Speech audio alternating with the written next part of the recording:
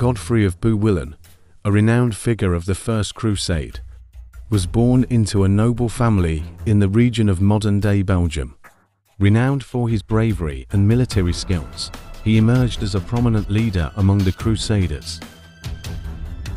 Godfrey played a crucial role in the capture of Jerusalem, where he famously refused to wear a crown, instead adopting the title of Defender of the Holy Sepulchre. Known for his humility and chivalry, Godfrey led by example, earning the respect of his comrades and the local populace. His fair rule was the first ruler of the Kingdom of Jerusalem, left an indelible mark on the Crusader states and their subsequent history.